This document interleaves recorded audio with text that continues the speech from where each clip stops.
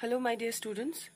Today we are going to discuss all the important questions from an elementary school classroom in a slum, which is written by Stephen Spender. Let's move towards the first question.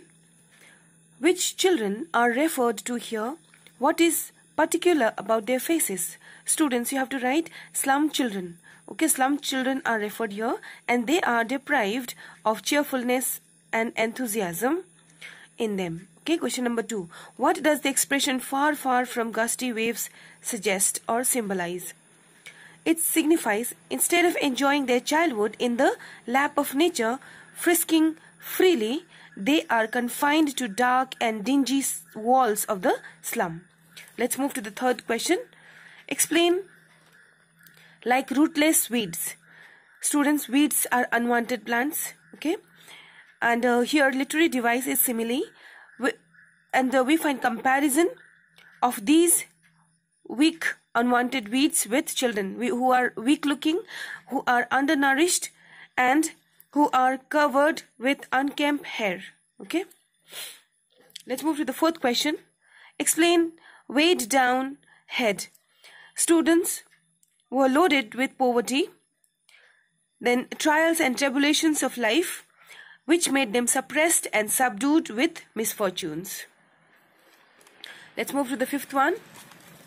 What is the comparison drawn with rat's eyes? This is very important question. Students put asterisk mark here because it is asked in uh, board examinations regularly.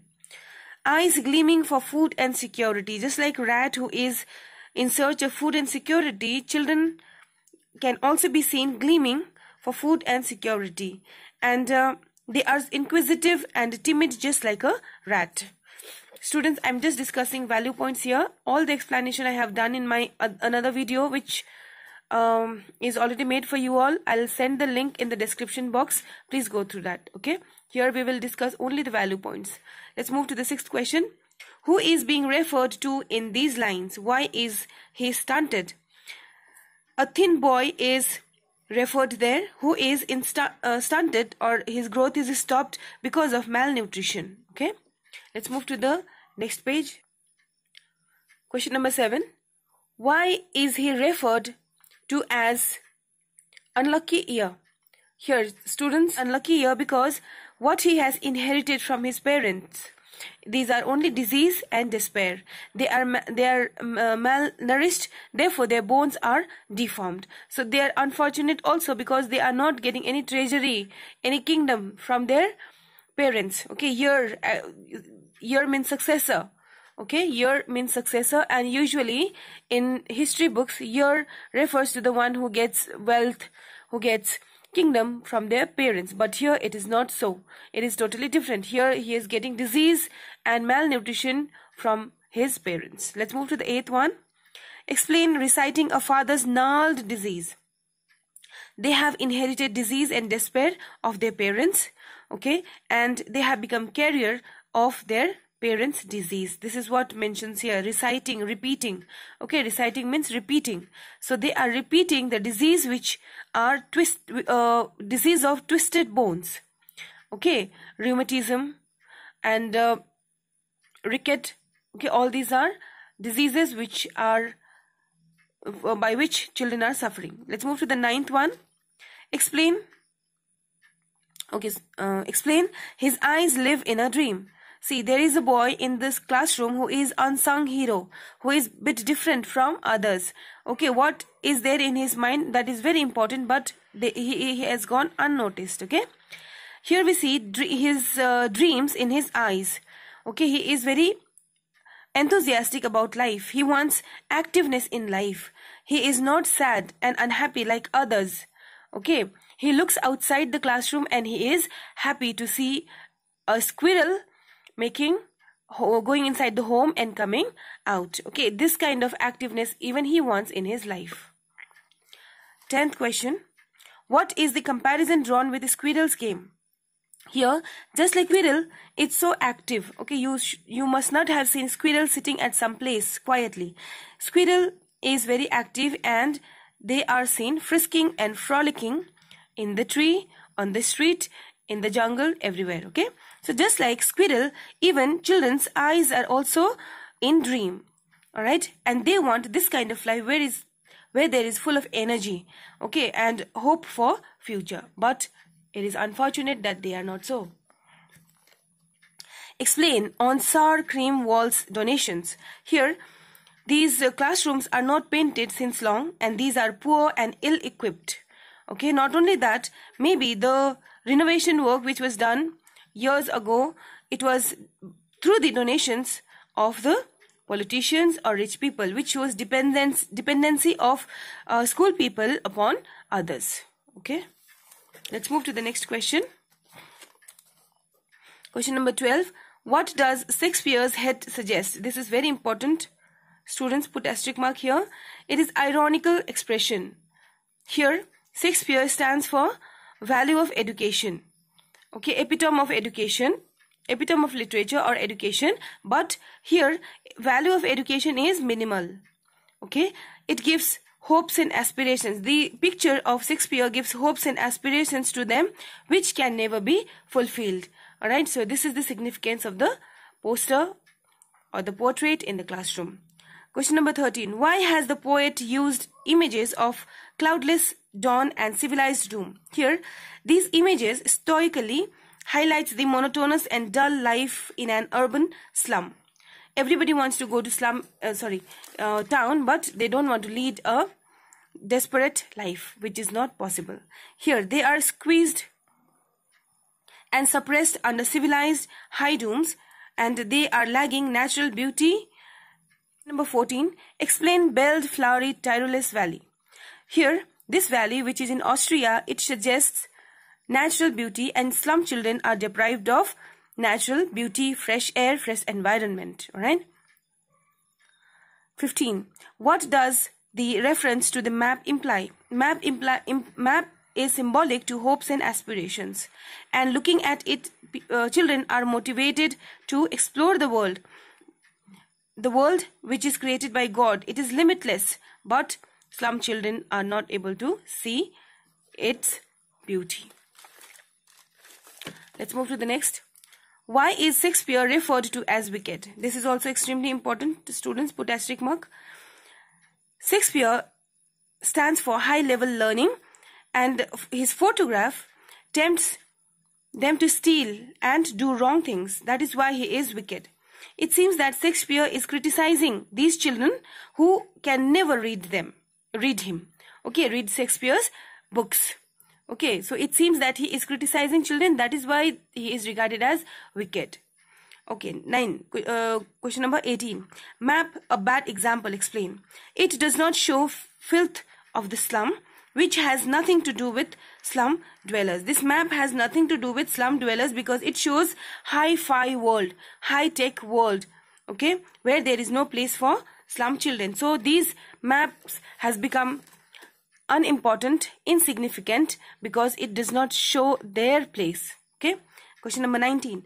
What do ships, sun and love symbolize? It is symbolic of joy and brightness of life and children are unable to fulfill the same. Let's move to the next page. Where do these lives slyly turn? The lives of the slum children cleverly turn and twist in the cramped holes.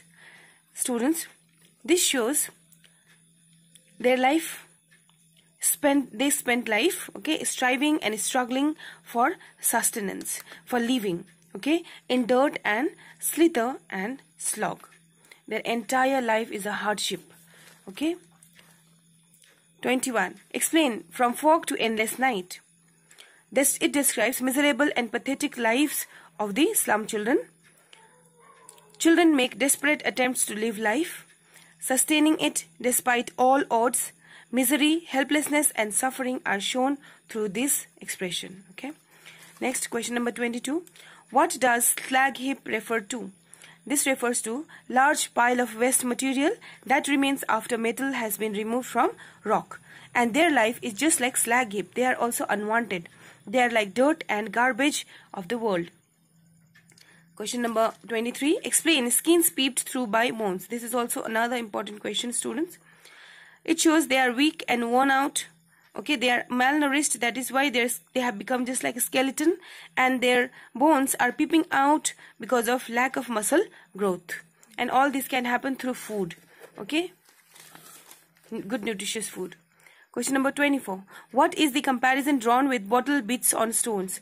It means they are deprived of even basic amenities of life and life is shattered and broken like bits of bottle on a stone let's move to the next page.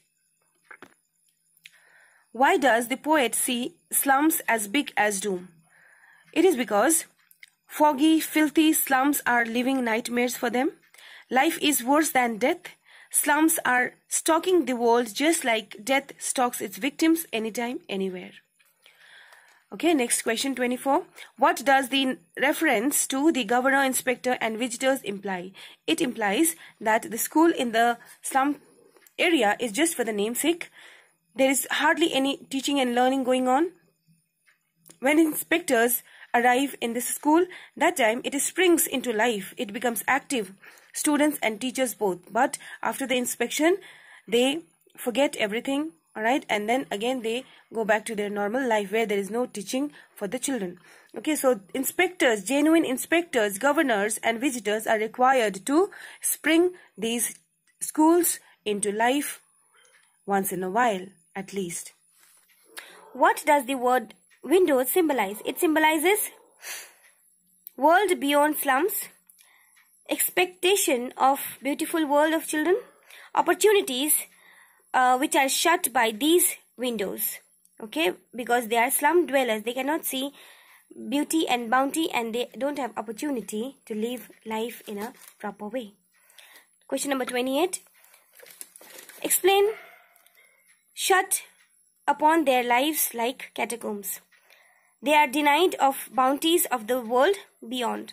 Just like catacombs, no light of hope in their life. Just like catacomb, where all the four walls are um, co uh, covered. Okay, just like catacomb, where all the walls are covered and there is no light of hope. Their life, slum children's life is also same. There is no light of hope in their life. Question number 29. What does green fields and gold sand symbolize? It is symbolic of a carefree, happy life and without injustice, okay, without social discrimination they should live a happy life and that is what symbolizes here. Let's move to the next.